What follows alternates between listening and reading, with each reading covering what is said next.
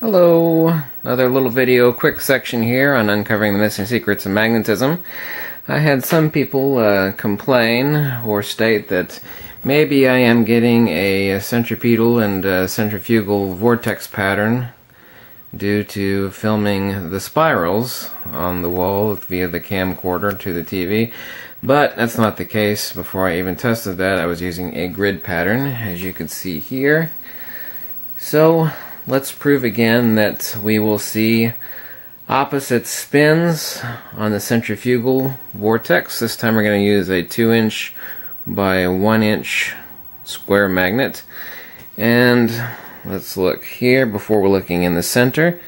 You can see that I'm getting clockwise rotation on our grid.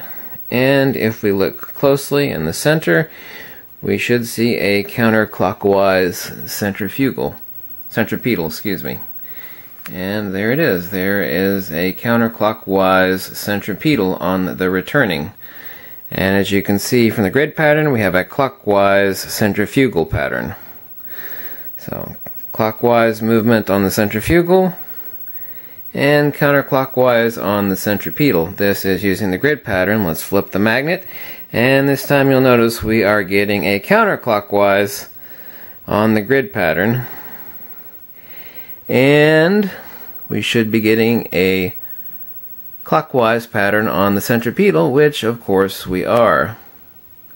You can see that. Let me get a, a good image. There you go. You can see the center, the uh, the clockwise pattern on the centripetal at the center. So as you can see, counterclockwise on the centrifugal on our grid pattern display and clockwise on the centripetal, flip the magnet. Clockwise on the centrifugal and counterclockwise on the centripetal. And right before you get full distortion from the dielectricity, it's very interesting. You get actually on the uh, grid pattern, you get a uh, almost perfect swastika pattern on uh, the grid. Interesting. Not really. Twisting any perfect cross like this due to field compression, field distortion. You should get that sort of movement geometry. You can actually see it here. You actually get a a clockwise and counterclockwise swastika pattern on the grid if oriented perfectly. And opposite one here. This one, this particular magnet is really powerful, by the way. But anyway, as you can see here, it has nothing to do with using the spiral patterns.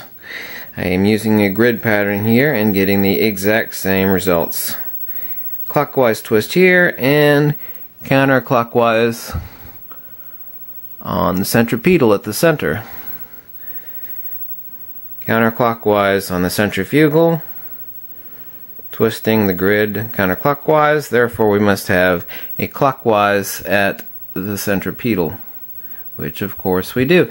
Thanks for watching, and that ends that little argument or premise that I was getting uh, centripetal clockwise or counterclockwise spin due to filming the uh, filming the spirals instead of the grid pattern, but I used the grid pattern long before I ever tested the, uh, the spiral pattern. So, eh, once again, thanks for watching. Remember to uh, send any questions or requests about magnetism to me and uh, let me know what you're interested in learning about magnetism and I will make a, a nice little video for you. Thanks for